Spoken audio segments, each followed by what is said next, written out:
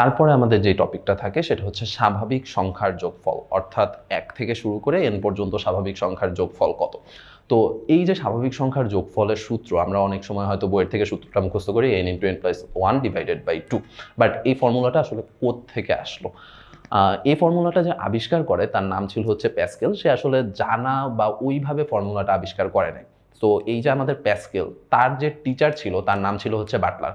তো এই বাটলার সাহেবের একদিন মন মেজাজ খুবই খারাপ, তিনি ক্লাসের মধ্যে ঢুকলেন। ঢুকে তার ছাত্রদেরকে বললেন যে, এক থেকে একশো পর্যন্ত সবগুলা সংখ্যা যোগ করে নিয়ে আসতে।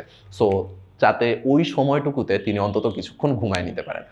তারপরে এই যে বাটলা সাহেব বললেন যে এক থেকে একশো পর্যন্ত সবগুলা স্বাভাবিক সংখ্যা যোগ করতে বাটলা সাহেবের কথা মুখ থেকে মাটিতে পড়তে দেরি, এর মধ্যেই প্যাসকেল তার খাতা নিয়ে হাজির যে স্যার অ্যান্সার হচ্ছে একশো এক। তো এই জিনিসটা আসলে আসলো থেকে যে এত তাড়াতাড়ি সে আসলে কীভাবে স্বাভাবিক সংখ্যার যোগ ফলটা বের করতে পারছিল?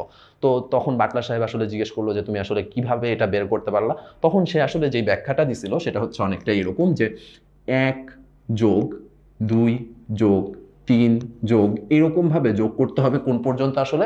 একশো পর্যন্ত।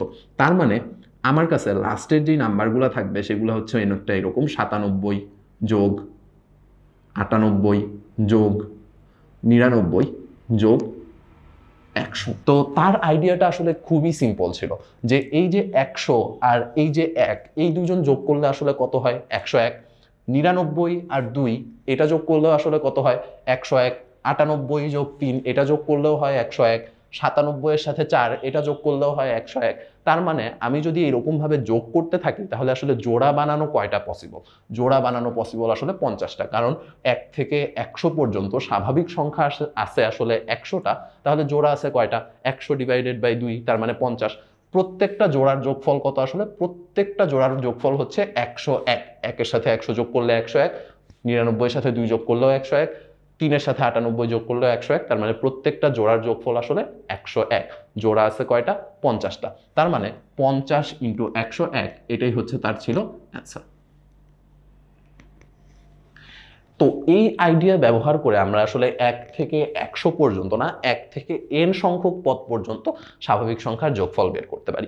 যেমন আমরা যদি সেম আইডিয়াটা ইউজ করি, সেই ক্ষেত্রে আমাদের জিনিসটা কীরকম আসবে? এক যোগ দুই যোগ তিন যোগ চার যোগ এরকমভাবে চলতে থাকবে। তো এটা আসলে কোন পর্যন্ত চলবে? আমরা বের করতে চাচ্ছি আসলে এন সংখ্যক পদ পর্যন্ত বা এক থেকে এন পর্যন্ত স্বাভাবিক সংখ্যাগুলোর যোগফল। তো এন এর আগের সংখ্যাটা আসলে কত? এন এর আগের সংখ্যাটা আসলে এন মাইনাস ওয়ান তার আগের সংখ্যাটা আসলে কত? এন মাইনাস টু আচ্ছা এইবারও যদি আমরা জোড়া করি, তাহলে এন এর সাথে এক যোগ করলে আসে, আসলে n plus one n minus ওয়ানের সাথে দুই যোগ করলে আসে আসলে n plus one n minus two এর সাথে তিন যোগ করলে আসে এন প্লাস ওয়ান তার মানে এইখান থেকে আসলে প্রত্যেকটা পদের সমষ্টি কত আসতেছে? এন প্লাস ওয়ান এরপরে এক থেকে এন পর্যন্ত কয়টা স্বাভাবিক সংখ্যা পাওয়া পসিবল এন সংখ্যক স্বাভাবিক সংখ্যা পাওয়া পসিবল কারণ এক থেকে একশো পর্যন্ত স্বাভাবিক সংখ্যা ছিল একশোটা। তার মানে এক থেকে এন পর্যন্ত স্বাভাবিক সংখ্যা আসলে কয়টা আসবে? এন সংখ্যক। সেই ক্ষেত্রে আমাদের জোড়া হবে কয়টা? এখানে পঞ্চাশ কি ছিল? পঞ্চাশ ছিল হচ্ছে জোড়ার সংখ্যা। তাহলে আমাদের জোড়া পাওয়া পসিবল আসলে এন ডিভাইডেড বাই টু কারণ দুই দ্বারা যদি আমি ভাগ করি, তাহলে আমি পাবো যে আমাদের টোটাল কয়টা জোড়া হওয়া পসিবল দেন প্রত্যেকটা জোড়ার আসলে যোগফল কত আসে? এন এর সাথে ওয়ান যোগ করলে n plus one n minus ওয়ানের সাথে দুই যোগ করলে এন প্লাস ওয়ান তার মানে প্রত্যেকটা জোড়ার যোগফল আসলে এন প্লাস ওয়ান তার মানে এই এন বাই টু এর সাথে আসলে গুণ হচ্ছে কত? এন প্লাস ওয়ান অর্থাৎ স্বাভাবিক সংখ্যাগুলার যোগফল কত আসতেছে? N into n plus one divided by two এই ছিল হচ্ছে আমাদের স্বাভাবিক সংখ্যার যোগফল নির্ণয় সূত্র। তো এই ফর্মুলা ইউজ করতে অনেকগুলা ম্যাথ আসে পরীক্ষার মধ্যে। অনেক সময় রিটার্নের মধ্যে অঙ্ক আসে, অনেক সময় এমসিকিউতে অঙ্ক আসে। এমসিকিউ এর জন্য এই ফর্মুলাটা আসলে অনেক বেশি ইম্পর্টেন্ট এমসিকিউতে অনেক সময় জিজ্ঞেস করতে পারে, এক থেকে পঞ্চাশ পর্যন্ত স্বাভাবিক সংখ্যাগুলোর যোগফল কত? সেই ক্ষেত্রে এন এর মান আসলে কত? পঞ্চাশ। তার মানে তখন আমরা এন এর ভ্যালু বসাবো পঞ্চাশ।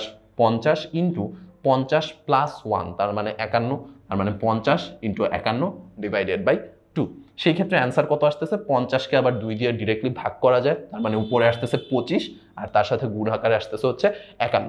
সেমভাবে এন এর বিভিন্ন মানের জন্য আসলে আমরা এটা অ্যাপ্লাই করতে পারি। কখনো যদি আমার কাছে জিজ্ঞেস করে এক থেকে এক হাজার পর্যন্ত স্বাভাবিক সংখ্যাগুলোর যোগফল কত, তখন আসলে এই ফর্মুলাটা অ্যাপ্লিকেবল অর্থাৎ এন এর বিভিন্ন মানের জন্য আমার এখানে অবজেক্টিভের মধ্যে অ্যান্সার জিজ্ঞেস করতে পারে।